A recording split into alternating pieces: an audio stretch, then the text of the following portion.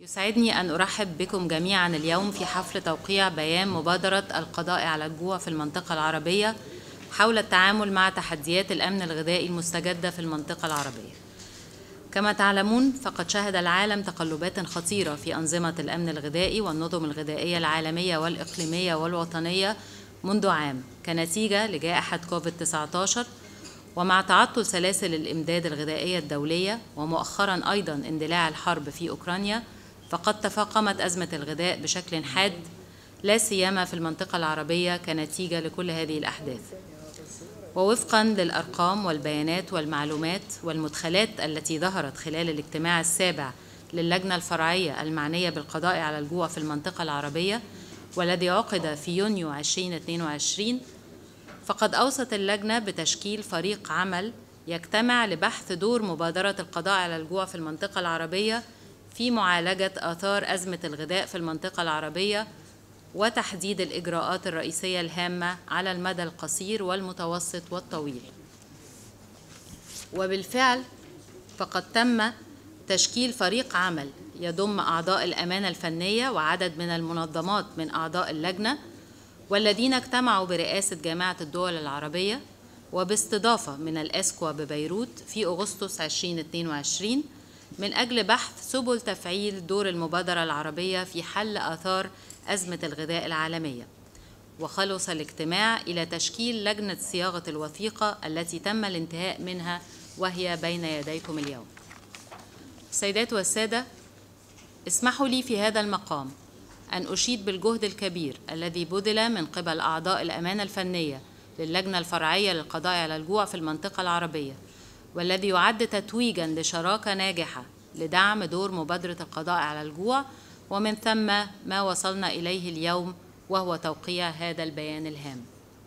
كما أغتنم هذه المناسبة لأتوجه بجزيل الشكر لمعالي الأمين العام على حضوره مراسم التوقيع وللمنظمات الشريكة اللجنة الاقتصادية والاجتماعية لغربي آسيا الأسكوا وهي بالمناسبة سيتم التوقيع من قبل الأمينة التنفيذية يوم 16 الجاري. منظمة الأغذية والزراعة الفاو وبهذه المناسبة أيضا نشكر الدعم الفني والمالي المقدم من المنظمة لإطلاق هذه المبادرة والعمل على تنفيذها.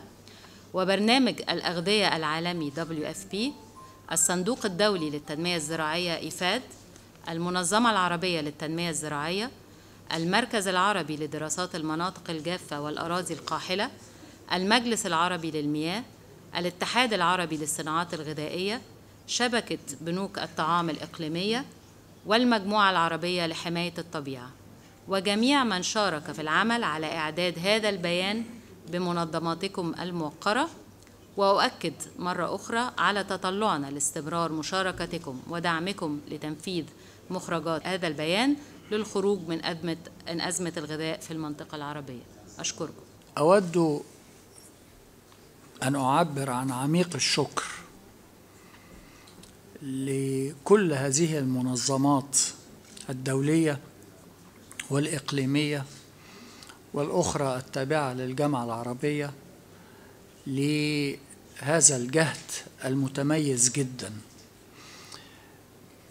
هذا الإعلان يعكس وعي الجامعة العربية وكافة المنظمات التي شاركت في إعداده الوعي بأن هذه المنطقة تتعرض لضغوط بالغة الشدة تتطلب بذل جهد تحديد أولويات وضع خطط للتصدي للمشكلات. ما هي المشكلات؟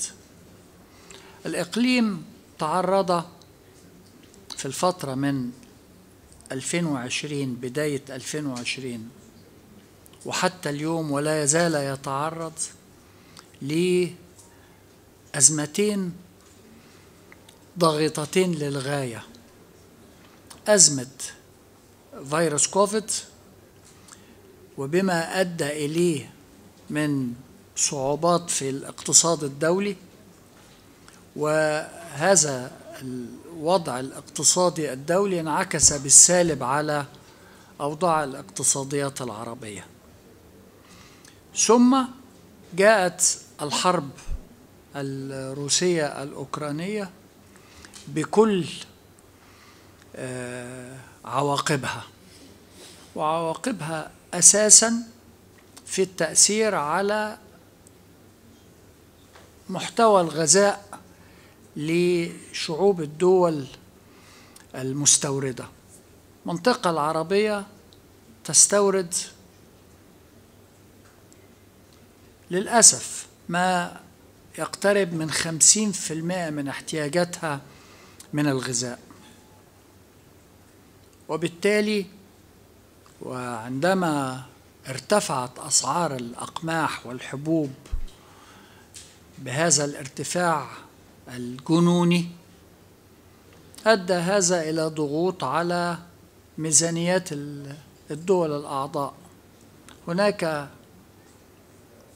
كوارث تتعرض لها بعض الشعوب في الإقليم العربي نتيجة لارتفاع الأسعار من ناحية نتيجة للفيضانات من ناحية أخرى نتيجة للجفاف من ناحية ثالثة. وكل هذا عرض المنطقة إلى هذه الضغوط التي نعاني منها الآن. يضاف إلى ذلك تغيرات المناخ بكل تأثيراتها السلبية على الإقليم العربي. يمكن في اللقاء معكم في الداخل تحدثت عن أنه الأنهار العربية أو المياه العربية تأتي من مناطق خارج المنطقة العربية وبالتالي هي أيضا معرضة للضغوط. فهذا الجهد اللي قامت به الجامعة العربية مع كل هذا المجتمع الدولي والإقليمي المنظمات الدولية يعكس وعي يعكس اهتمام. نشكركم عليه ونتمنى لكم التوفيق والنجاح في مستقبل الأيام القادمة والسنوات القادمة لأن الضغوط لن تتوقف الضغوط سوف تستمر. وبالتالي علينا مهمة صعبة جدا أن نحمي الشعوب العربية من هذه الأوضاع. اليوم على سبيل المثال قرأت عن الاهتمام البالغ من قبل الدولة المصرية لزيادة رقعة الأرض الزراعية في مصر لتحديث الزراعة المصرية لاستخدام التكنولوجيات الحديثة. بشكل يؤدي إلى ارتفاع طاقة الإنتاج الغذائي وبما يوفر على الشعب المصري الكثير من الإنفاق في استيراد الغذاء. كل التمنيات لهذا الجمع ولهذه المجموعة وأتمنى للأجهزة المعنية أنها تنشر وعلى أوسع نطاق هذا الإعلان ونشكركم جزيلا على ما قمتم به من جهة شكرا جزيلا.